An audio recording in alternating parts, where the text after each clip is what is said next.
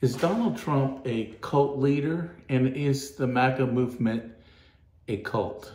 Why ask this question? Uh, after all, Donald Trump is not a religious leader and MAGA is not a religious movement. I do think we should ask the question, does Donald Trump act like a cult leader?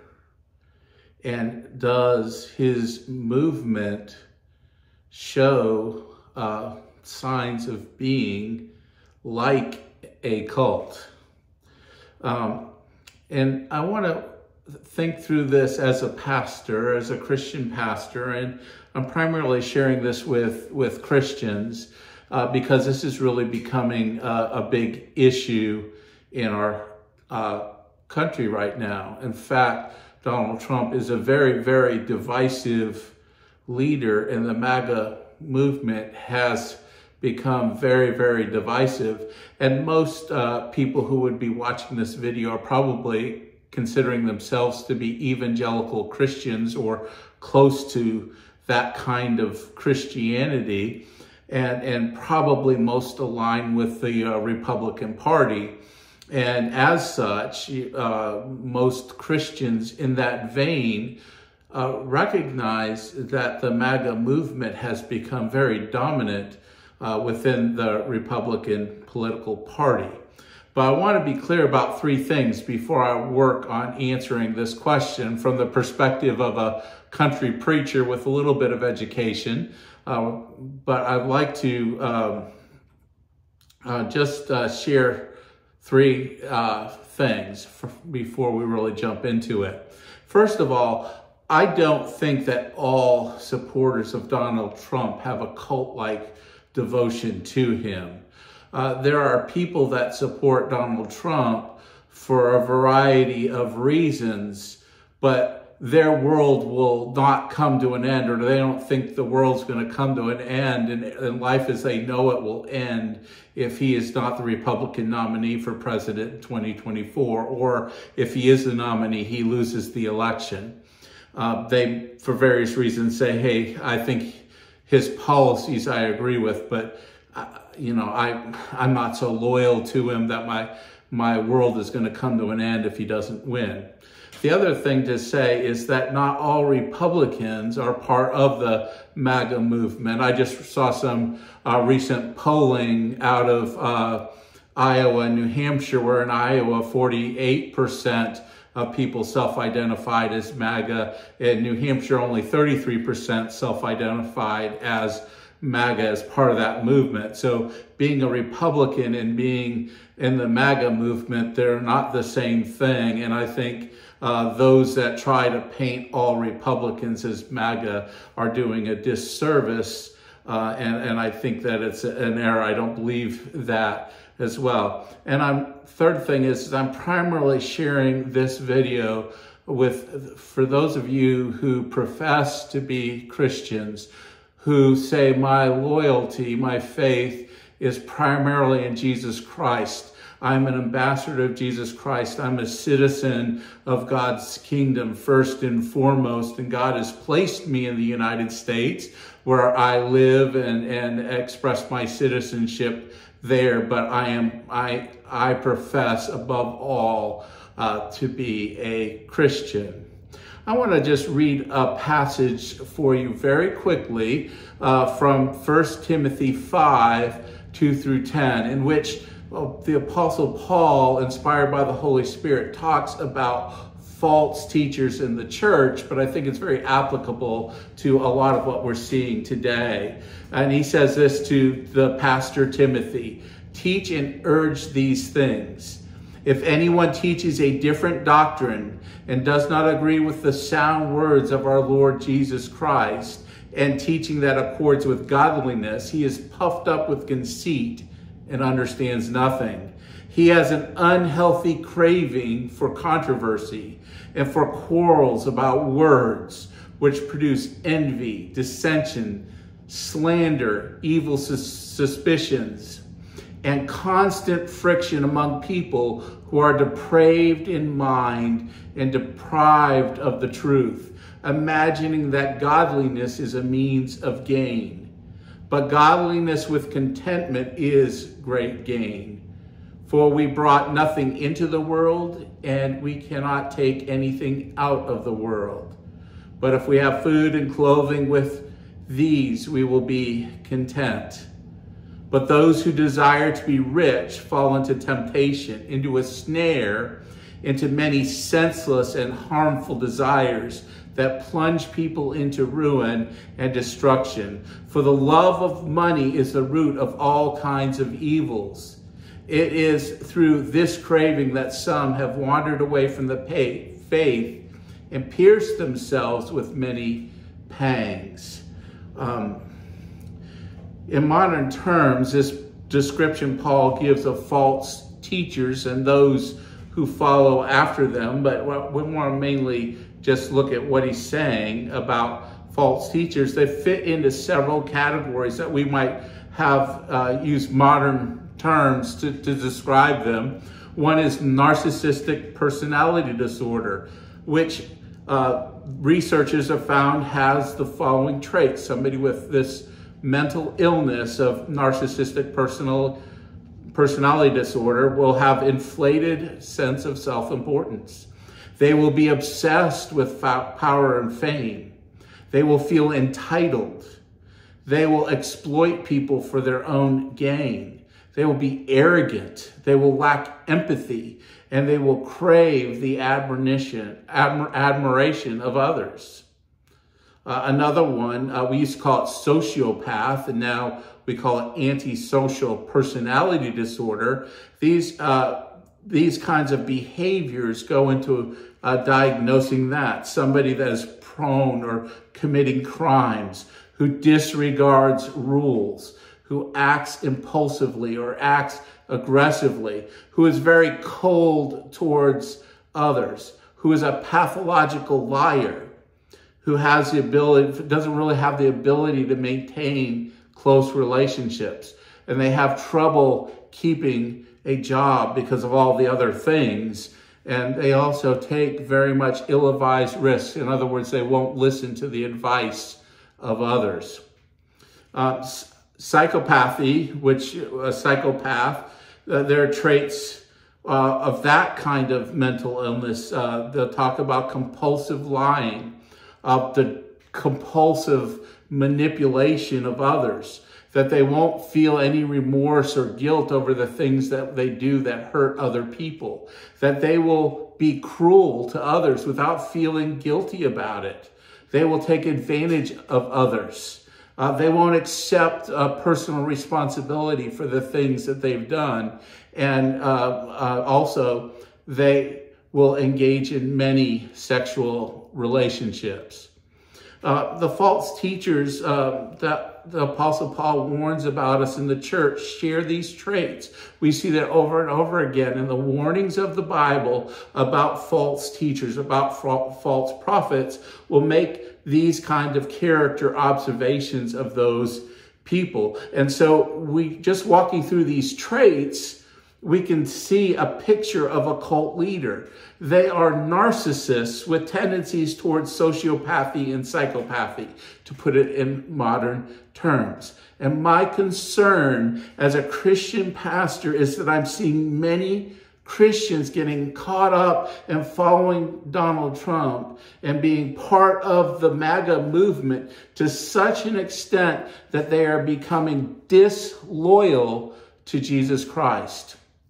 In many places in the Bible, God's people are told that they cannot serve two masters as, as objects of, of loyal, personal, almost religious-like devotion. Uh, Christians cannot serve Donald Trump in that capacity and still serve Jesus Christ. And I'm going to be sharing some more. I've been, I've, I've done a couple videos already on my channel uh, about the culture war and Christians' relationship to the government, where we look at different Bible passages and I try to share uh, and get us to focus on what the Bible teaches as Christians to see how we should engage uh, in political discourse. I, am not one, I didn't really want to be doing this. I, I, I, I'd rather be doing other things uh, in terms of ministry, in terms of teaching.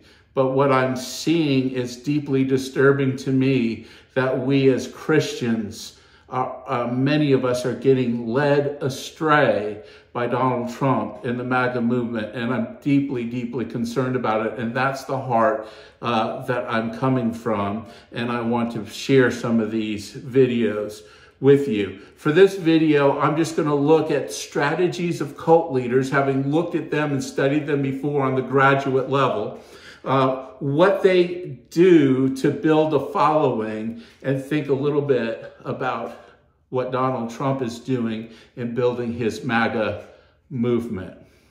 So the first things that cult leaders do is they come in and they prey on the fears and insecurities of people that what they'll do is they'll capitalize on the felt needs that are real and genuine and good, and then offer to meet those needs if that person will become a devoted follower. Follow me, and I will take care of all these things that are concerning you in your life, all these things that worry you. I'll give you meaning and purpose and hope. And, and if you just follow me, all of your life will come together and you'll find all your meaning and your purposes. You know, and Americans have real concerns right now. We're concerned about immigration. We're concerned about national security and terrorism. We're concerned about drugs. We're concerned about international conflict. We're concerned about the economy and paying our bills and taking care of our needs. So we, we have these real concerns.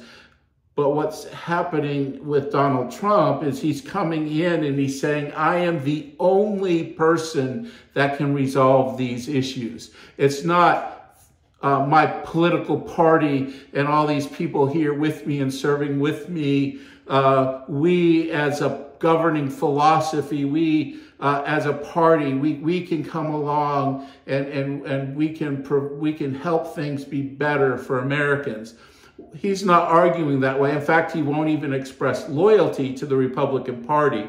What he says is that I'm the one that will do this. If, if you don't elect me, there'll be another Great Depression. If you don't let, elect me, all the world will fall apart. And if I'm not president again, if you aren't loyal to me, your very lives are at risk. Everything is at risk. And, and, and your life will just cease to exist as you know it. It will be the most miserable thing and, and you'll never have prosperity or anything again. You've, you've got to be loyal to me because only I, I am the only one that can do this. You see how that is kind of cult-like?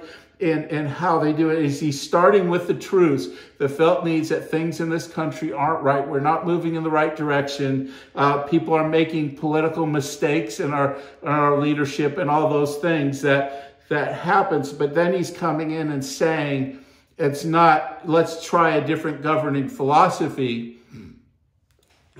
You know, he is saying, you know, bringing in uh, governing principles or ideals or philosophy kind of things.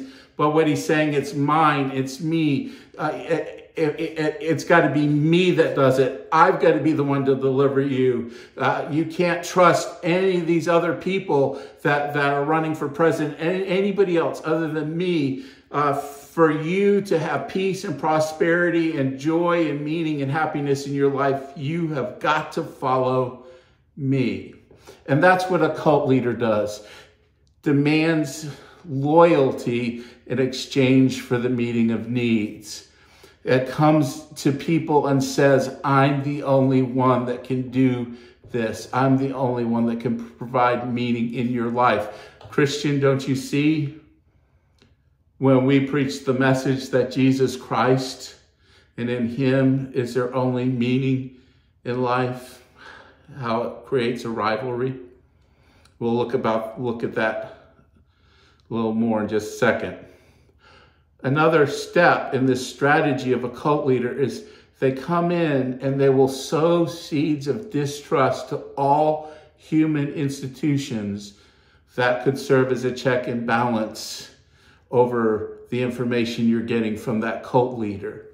And so they will sow these seeds of distrust in human uh, institutions. They don't want their followers to trust the government. They don't want their followers to trust churches or community organizations or justice systems. In fact, cult leaders want them to be suspicious of any institution and organization and not trust anyone, but only have their trust for the cult leader. That leader replaces all those institutions as the object of trust. And you see this, and this is where I'm concerned, where you hear deep state. Donald Trump will talk about the deep state like it's his Satan. Uh, the deep state controls everything, controls every aspect of government, controls all of the justice system, controls all the elections, except when it does things that he agrees with, then it's okay. But for the most part, he's saying don't trust. You can't trust the government. You can't trust the justice system. You can't trust any, any organization. You cannot trust any of this and any institution that would bring accountability to a cult leader, you see why they so distrust?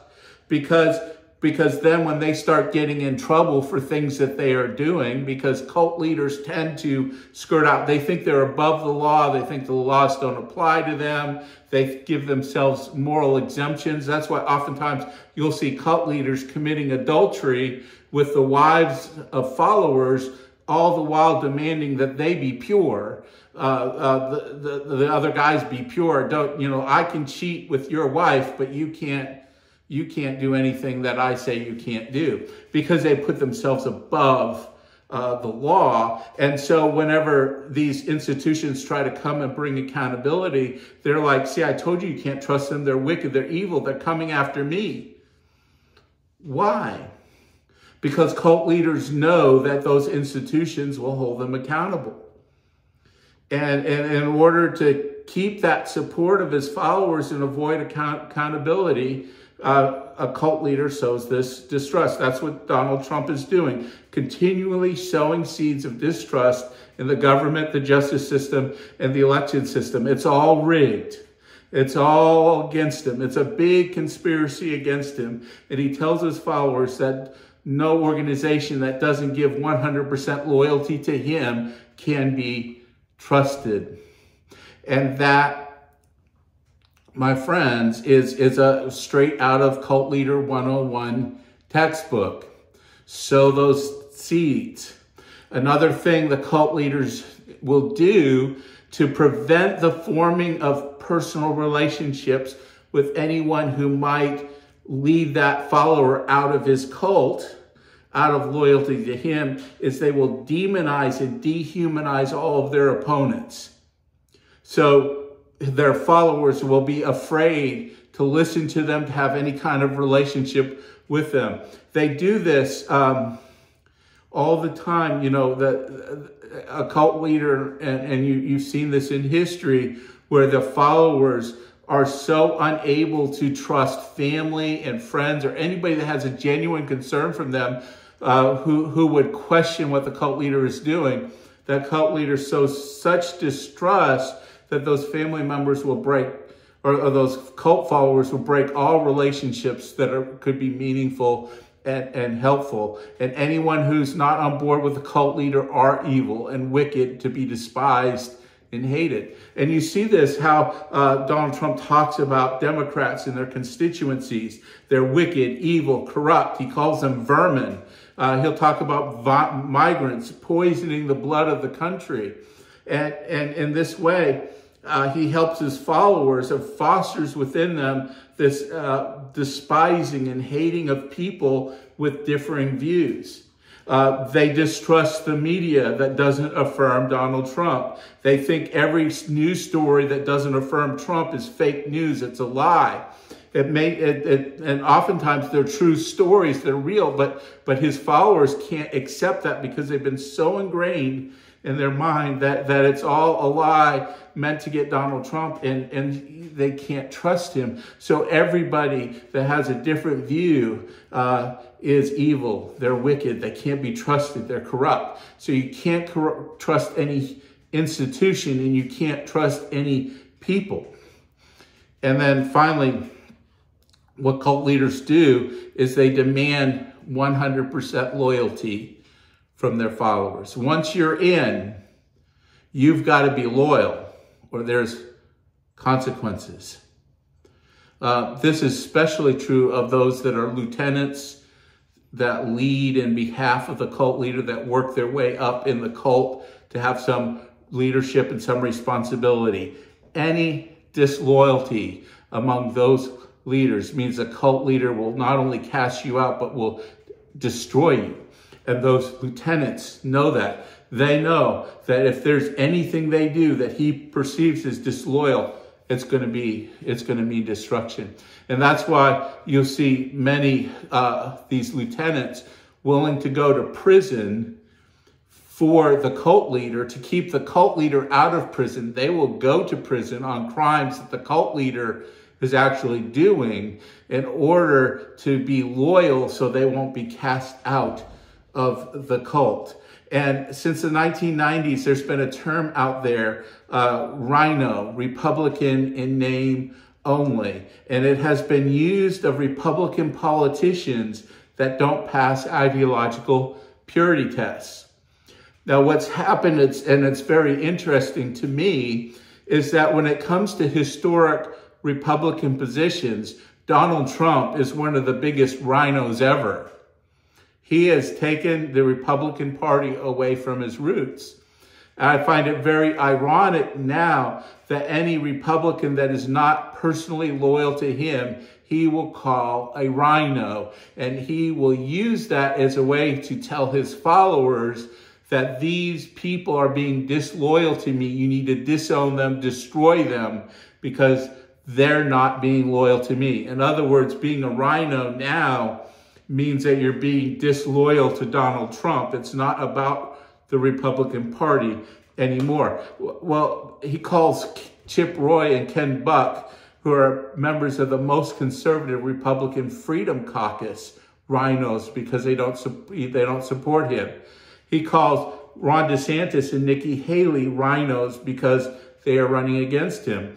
He's calling governors uh, Kim Reynolds and Chris Sununu RINOs because they didn't to support him. Do you see how it's all about personal loyalty to him? Being a RINO no longer is, you know, do you hold Republican Party positions? It's now, are you personally loyal uh, to Donald Trump? And the MAGA movement has infiltrated the Republican Party uh, to such an extent that almost all Republican politicians are afraid to say or do anything that would be seen by Donald Trump as less than loyal.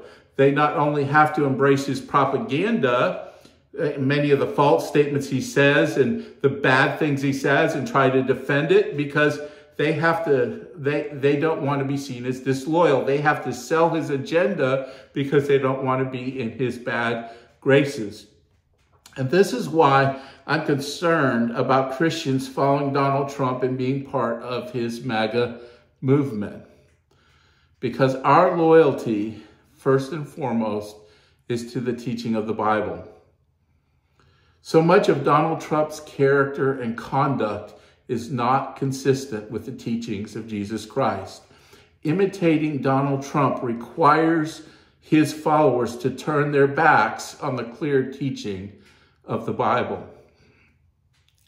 God has also established both the church and human governments. He has clearly commanded Christians to rec- recognize that he ordains governments and they rise and fall according to his will. And he calls us to live as good citizens within the governments he has established for us. And that includes not only here in the United States, but there are Christians in North Korea, in China, in Russia, and Iran. In fact, Christianity is growing much um, faster in places where the church is much more persecuted and when there isn't all the freedoms that we enjoy. So we have to recognize that, that God is establishing these governments. And so we have to be careful about how we think and talk and act when we talk about governments. Uh, the other thing is, a third point is the Bible calls us to love our enemies. It calls us to guard our speech.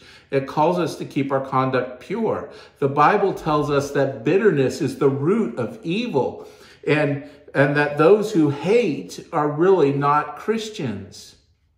So we've got to be very careful as Christians to recognize that God has something very, very different to say about how we conduct ourselves as Christians than the way Donald Trump and the MAGA movement behaves.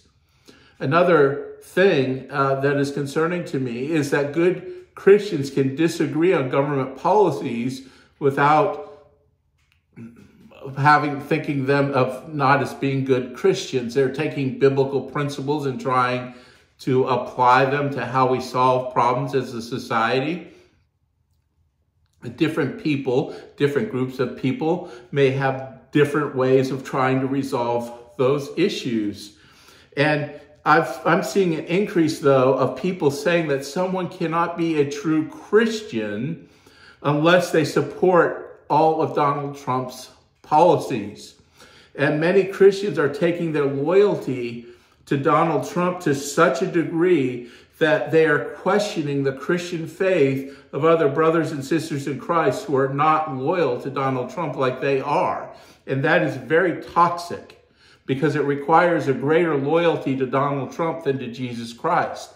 My loyalty is to Jesus Christ, first and foremost. My loyalty is to the kingdom of heaven. I am ambassador of Christ. That's the most important thing for me.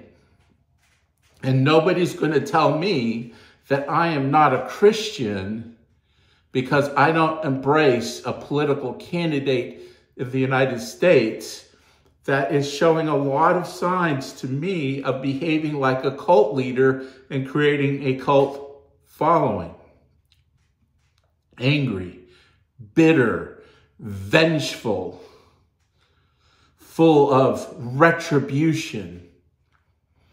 It just, it's, it's not what God has called us to as, as Christians. And it just breaks my heart to see people behaving and acting that way.